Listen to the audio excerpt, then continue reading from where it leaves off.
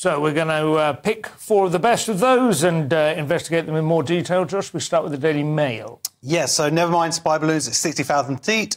Worry about the Chinese cameras six feet over our heads. So we seem to be hearing a lot about this, about the different Chinese technology. But what's different about this report is that these are actual things that have already been banned from, uh, you know, from our defence forces and, and, whatnot. But actually, yep. it turns out that they're being used still by our police forces. So uh-huh. um, Huawei, uh, different constabularies are uh, still using uh, Huawei. Huawei. Huawei. Huawei. Huawei. Huawei. Huawei, cultural appropriation, sorry. And um, Hikvision, which is uh, various CCTV cameras, they're used also by different forces.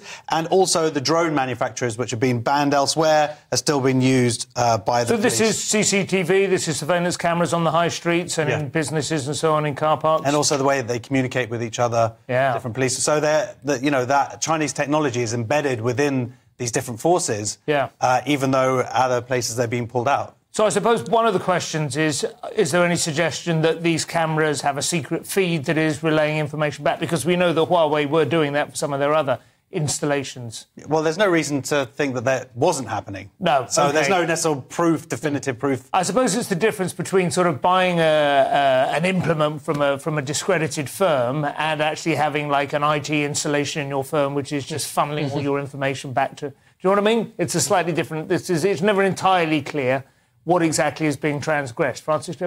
Yes, absolutely. I think what this shows is how dependent, how reliant we have become on Chinese imports and Chinese technology yeah. without realising long term what that deal actually is. Because a lot of the time we're buying these cheap Chinese products, but there's a saying in Venezuela which is everything that starts off cheap at the beginning ends up expensive at the end. Yes. Also, uh, el excremente del diablo. Exactamente. Muy bueno, yes. Simón. Yeah, well, I think that's exactly right. I remember when we were at, um, in the similar sort of situation with Russia mm. uh, in the 1980s, early 1980s. Obviously, the Cold War was still very much in play. Russia were in Afghanistan at that time. And I passed my O levels, and my mum bought me a Zenith camera, mm-hmm. which was a Russian brand, but it was the cheapest SLR you could get. It had a, a lens that took three minutes to screw on. It had such a long screw thread and it, solid brass. I did think that's a little bit dubious. I was a little bit anxious, even though I was taking pictures on film.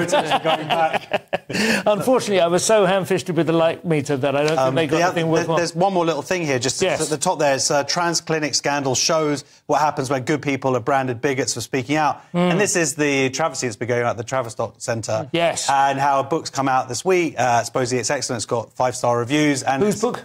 Uh, Not Sarah Vine. No, it's not no. Sarah Vine's book. Yeah. No, it's a producer who worked at the BBC who worked ah, on this yes. story. Yeah. So she's brought this book out and revealed what's happened now. It's obviously closing, yeah. but it's essentially a massive medical scandal that was let happen and how these mm. children were failed by all the adults around them.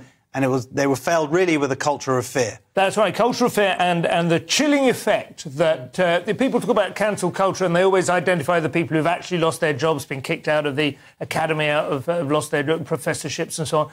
But it's it's the second tier, isn't it? That's much more worrying. Actually, it's the number of people who just never, who are just not inclined to actually blow the whistle or raise their head at all you know, that is the worrying uh, aspect of it, I think. And I think this is the problem. It's that when you have people whose livelihood depends on their jobs yeah. and they have mortgages and they have families to support, yeah. why are they going to blow the whistle when the reality is is that's then going to impact negatively on their careers? We actually yeah. interviewed one of the, on my show, Trigonometry, one of the whistleblowers from the Tavistock. Good plug.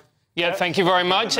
and he actually made the point that uh, a lot of the people at the Tavistock were more interested in ideology than they were in patient care. Yeah, it's, it's, a, it's a big, um, like, uh, general trend in the world mm-hmm. at the mm-hmm. moment. There's an awful lot of things on which a, a, an acceptable opinion is formed very early on and a consensus gathers around it. Absolutely. And anyone who speaks against it is, oh, you're a conspiracy mm. theorist or a, a, phobia or some sort. Mm. The Times, France,